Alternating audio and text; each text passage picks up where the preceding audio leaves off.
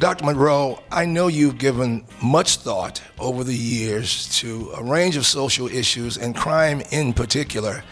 I'd like to know, we would like to know, what specific proposals have you formulated to approach, or rather, to uh, address this national problem of murder, particularly, but crime in general in Jamaica?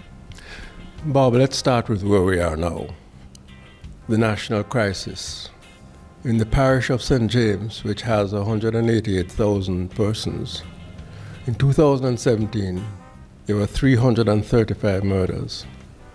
That's far in excess of New York, with 8 million plus people. Hence, starting where we are now, this is an emergency, and therefore the government was quite correct in formally declaring a state of public emergency. Having done that, what is needed immediately to cauterize the situation? As you know, you can't have surgery before you stop the bleeding. And St. James and Jamaica were bleeding. To cauterize the situation, first of all, the persons being detained, the detentions have to be intelligence driven. Spearfishing not net fishing. And when you detain them, they need to be treated as decent human beings. Secondly, having detained them, you have to be sure that you put your best investigators to transform intelligence into evidence that can be brought before a court of law and those guilty properly punished. That's very important because in the 2010 state of emergency, which for four years broke the back of homicides in Jamaica and more serious crimes, or other serious crimes as well, we weren't able to sustain that, largely because so many of the hundreds of persons detained, we did not have the evidence to prosecute them successfully and to incarcerate them where the evidence are justified. Thirdly, once you bring the persons before the courts with evidence and convict them, they need to be given exemplary sentences. An example has got to be set for others who have similar mind, and you're not going to be picking up individuals only, you have to get the gangs as a whole, because 60 odd percent of the homicides are gang related and are gang driven. So that immediate clutch of proposals has to do with the current situation and the importance of ensuring that the opportunity presented by this adversity and reflected in the state of public emergency does not go to waste. Let's remember, after 2010, we were averaging uh, 1,100 homicides per year. In the four years prior to 2010, it was 1,500. So by simple arithmetic, the impact in those four years of that state of public emergency would have probably saved the lives of 2,000 Jamaicans. We want that to happen again. We want this event to be life saving, but we want it to be sustained in breaking the, gang, the back of gang related criminality.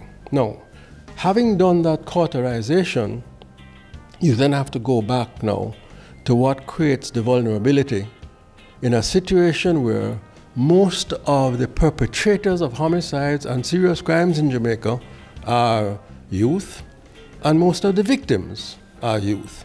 So we have to focus on the young population 25, 26, 27% of Jamaica.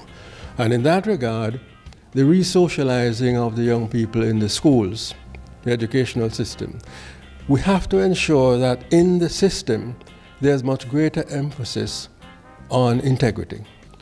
Teaching the youth what I used to learn at my grandmother's, uh, uh, at my, when I wore short pants, honesty is the best policy, cost what it will. So that set of positive values and behaviors have got to be reintroduced and highlighted in the educational system. Parenting.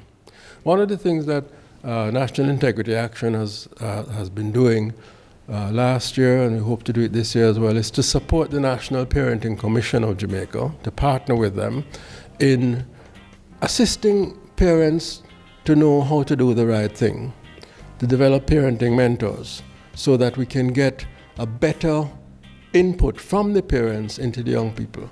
You batter the child, you teach the child, look, the way to get things done when you get bigger is to batter somebody else. That doesn't work. So that re-socializing is very, very important. In this year, for example, the, the festival, the national festival, we in NIA, we have sponsored a theme that we go into the, the speech writing, the drama festival, and so on. Integrity, integrity. Do the right thing, shun the wrong thing.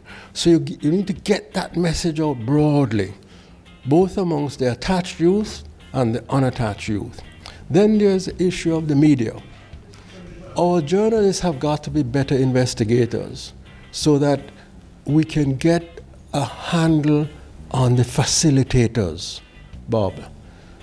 In Jamaica, as in so many other countries with this level of serious crime, whether you're talking about Colombia, you're talking about Mexico, Colombia as it was, Mexico as it is, when 119 weapons are intercepted on their way from Miami to Montego Bay, don't believe that it's a 15 year old youngster in Salt Spring who's paying for that.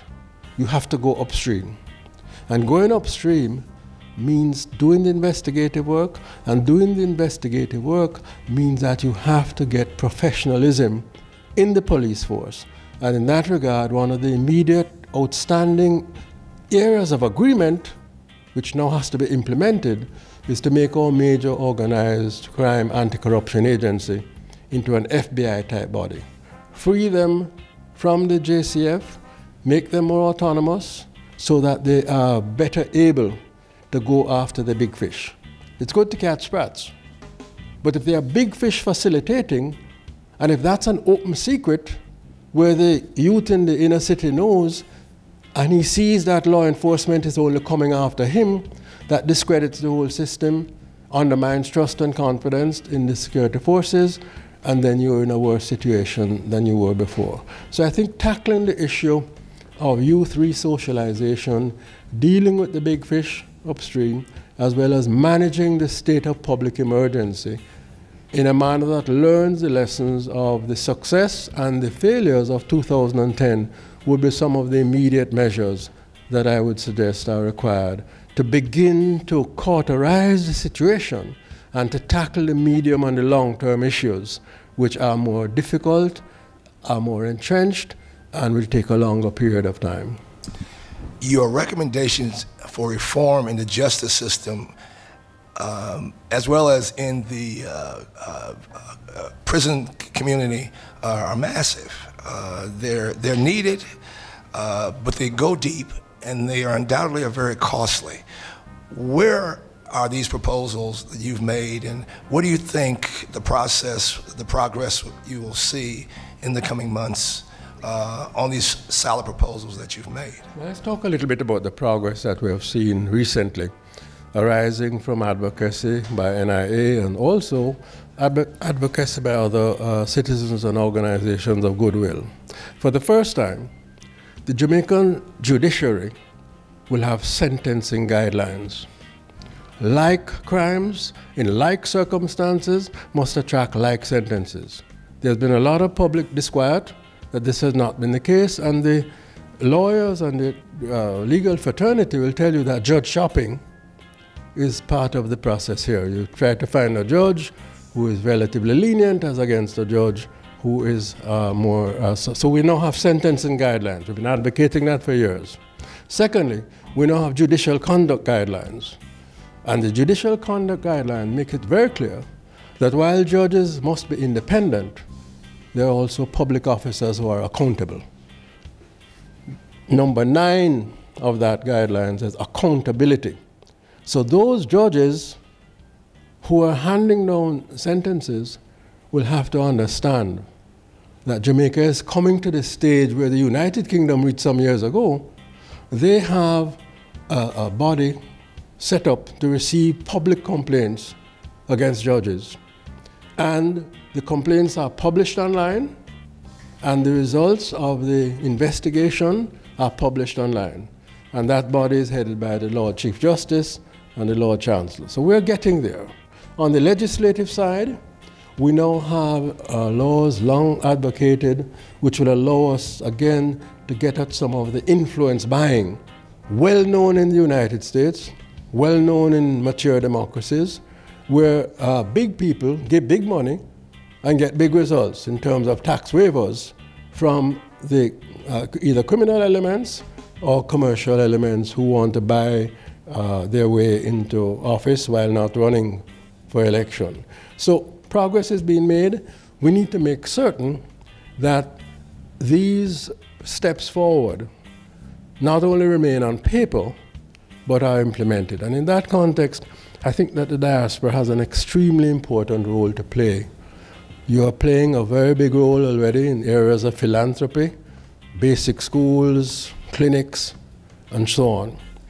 I believe that given the national crisis in Jamaica, our friends, our brothers and sisters in the diaspora need to get more engaged on issues of governance because all of that help that's being given, the impact of it is reduced to the extent that there's corruption in the public sector, there's influence buying in the private sector, and the targets, the most needy people, don't receive it. The question on the money. Jamaica is not short of money. And there are many indicators of that. When um, public, when entities want to go public and they put out um, a call, oversubscription within the shortest possible time. Because the money is here. It's looking for positive things to do. How you get that money into the reform of the governance arrangements and the justice system is a main challenge that we have to face, and that is something that I hope the forthcoming forum uh, sponsored by the private sector of Jamaica, a very commendable initiative, and they should be congratulated, will apply their minds to how to you get some of that money which is in this country into the reform of the governance arrangements. Let us remember, Bob, it is not with any pride that I say this, that the most recent figures which I have seen, Jamaica is among the most unequal income distributed countries in the entire Western Hemisphere.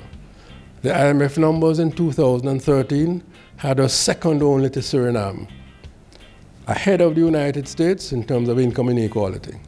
Those who have made well and we're not envying them. Those who have done well in Jamaica and have done so by honest means need to make a bigger contribution to our country and to its development. The second source is international development partners. There are partners, the European Union, the British Department for International Development, USAID, who have been generous in facilitating and assisting in the development of reforms. I know that um, the uh, Canadians in particular have been extremely generous in funding the justice sector reform program since 2008. That's an ongoing program, and we appreciate and encourage them to continue.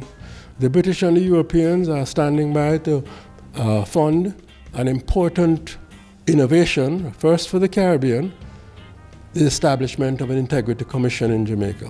What that body will do is bring together the separate anti corruption entities and, very importantly, give the single body the power to prosecute. That has been the missing link. The Office of the Director of Public Prosecution, with the best will in the world, with the best competence in the world, has to deal with a thousand, sixteen hundred, hopefully never 2,000 homicides a year. The prioritization of corruption which is behind a lot of the crime, therefore does not get the attention that it deserves.